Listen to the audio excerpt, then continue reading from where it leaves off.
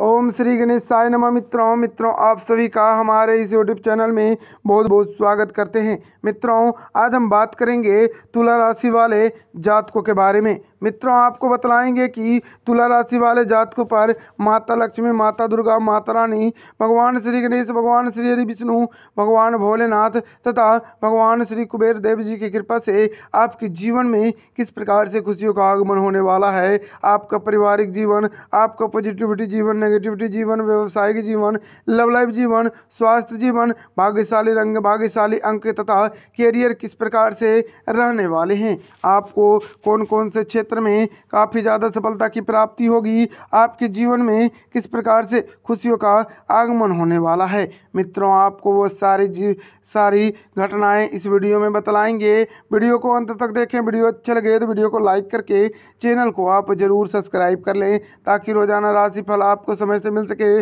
और आप आने वाले दिनों को बेहतर बना सको। मित्रों, सभी जिम्मेदारियों को खुद पर ना लेकर कुछ कार्यभार परिजनों में बांट लें। इससे आप निजी कामों में बेहतर समय बिता पाओगे, सुकून और शांति की अनुभव भी करोगे। वाहन अथवा मकान खरीदने के लिए लोन संबंधित कार्रवाई जल्द ही पूरी हो जाएगी। किसी महत्वपूर्ण कार्यों में अचानक ही कोई रुकावट आने से कुछ चिंता बनी रहेगी।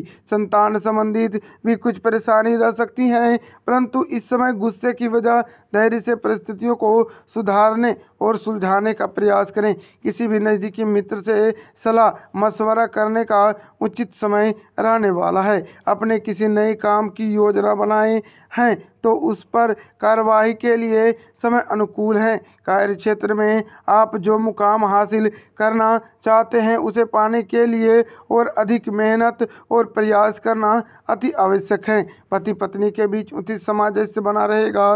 प्रेम संबंधों में किसी गलतफहमी की वजह से दूरियाँ आ सकती हैं। घर के किसी सदस्य के स्वास्थ्य को लेकर चिंता रहेगी। साथ ही आप अपने स्वास्थ्य के प्रति भी सजग रहना आपके लिए बेहतर रहेगा। जितना विश्वास आप भगवान पर करते हैं, उतना ही विश्वास आपको अपनी काबिलियत पर रखने की आवश्यकता है। आपके द्वारा किए गए कामों का आज परिणाम आसानी से मालूम नहीं हो पाएगा। इसलिए परिस्थितियाँ जैसी है, वैसे ही आपको अपनाने की कोशिश करनी होगी। काम से संबंधित प्राप्त हुई अनुभव अन्य लोगों के लिए उपायुक्त साबित हो सकता है।